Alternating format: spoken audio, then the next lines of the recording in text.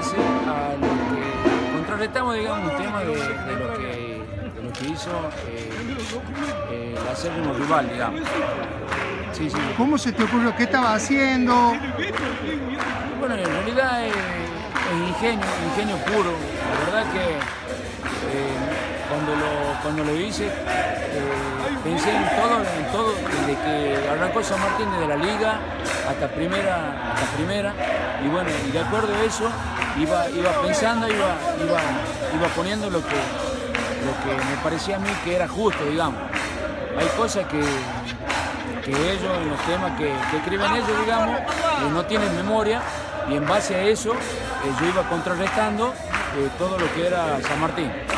La verdad que no, no, no, tenía, no tenía ni la más mínima idea que podía tener esta repercusión. ¿Y qué te dijeron tus compañeros, digamos? No, no, no, la verdad que ellos siempre me apoyaron y yo no vengo, no es que yo vengo eh, inventando canciones desde ahora, desde hace rato que vengo, desde el año 88, 89 que vengo este, creando canciones para San Martín.